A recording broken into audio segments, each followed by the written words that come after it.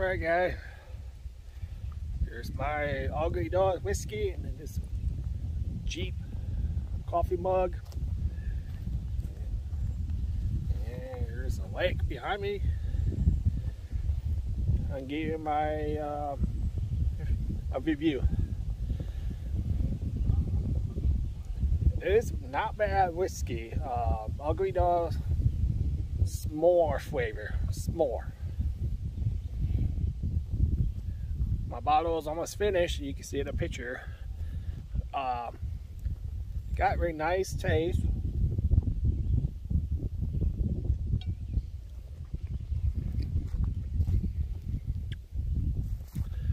I could taste uh, graham, graham cracker,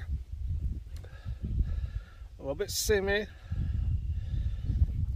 Kind of like it takes a little uh, small uh, marshmallow. And you can smell it. You can smell like you cook a s'more like over a campfire.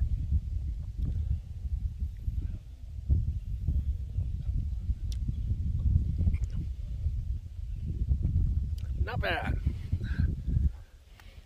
I get this bottle of whiskey mm, eight and a half out of ten. Uh, will I buy another bottle?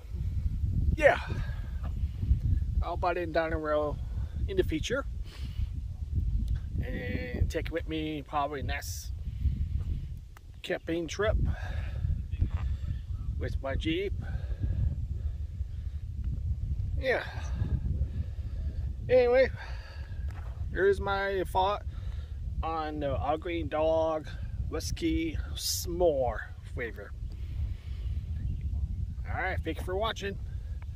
I'll see you in next video in the future on a whiskey taste review.